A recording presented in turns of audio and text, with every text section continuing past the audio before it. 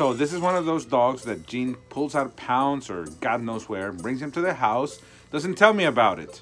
Does this? Hey, does this dog have a name? Oh, Bok? yeah. That's not a name. Luck in Korean. Bok. Luck in Korean. Anyways, this is Bok. Luck. Very small dog, very short legs. Really short legs. I think Jindo said it. Jindo mix? Did you say Jindo mix? I don't know. Whatever. Anyways, female, nice, Spayed. sweet. Spayed, did you do it? Mina did it. When did Mina have this dog?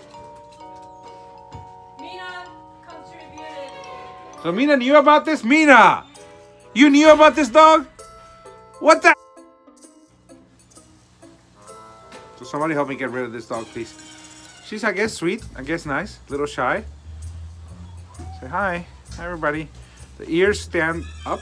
Right now, she's a little bit like that. Okay, so Bok. Be okay? Yes. Bank of Korea. Be okay. Please help me get this dog. Please share this video and, and help me get this dog adopted because I can't deal with yet one more dog that I didn't expect to be here. Yeah, my friend rescued this this dog like two years ago. Like when she. Wait, wait. Somebody rescued this dog two years. Hush! Somebody rescued this dog two years ago. One and a half years. Where's it been? Yeah, that friend's the shop. Chop. Yeah, the hello puppy. The groomer. Yeah.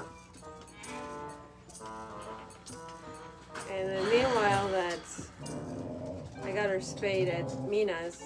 So this dog has been at the groomer for two years. Yeah, one and a half years. You just said two years. Yeah, I don't remember.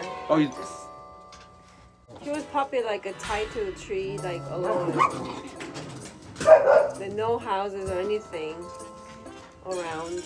And then my groomer friend asked me if Babs would accept this puppy, and then I said, "You just keep her for a while, and then we'll try to find a home."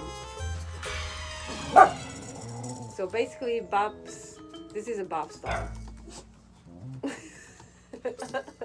So this is a Bob's dog that has been a Bob's dog for two years that I didn't know about. Um, Mina I don't care what your hair looks like. You're gonna show your face here. No, See what I have to work with. Mina, it's your fault.